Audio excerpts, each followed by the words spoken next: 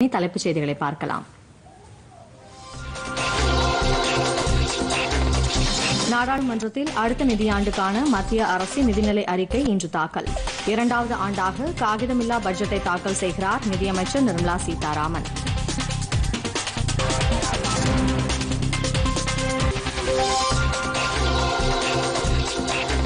நாடாளுமன்ற கூட்டத்தொடரை சுமூகமாக நடத்த அனைத்து கட்சிகளுடன் மக்களவைத் தலைவர் ஆலோசனை.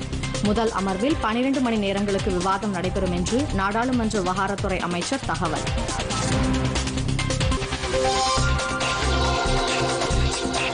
தேசிய மகளிர் ஆணையத்தின் பங்களிப்பை விரிவுபடுத்த வேண்டியது அவசியம்.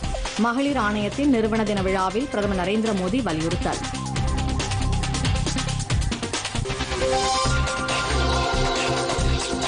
நகர்ப்புற உள்ளாட்சி தேர்தலை ஒட்டி திமுக அஇஅதிமுக பிஜேபி உள்ளிட்ட கட்சிகளின் வேட்பாளர் பட்டியல் வெளியீடு. இதுவரை ஆயிரத்து நானூற்று அறுபத்தி எட்டு பேர் வேட்புமனு தாக்கல் செய்துள்ளதாக மாநில தேர்தல் ஆணையம் அறிவிப்பு.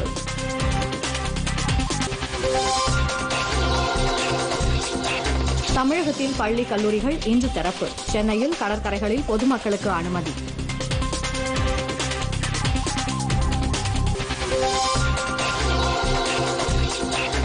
பிரேசிலில் தொடர் மழையால் நிலச்சரிவு. பதினெட்டு பேர் பலி.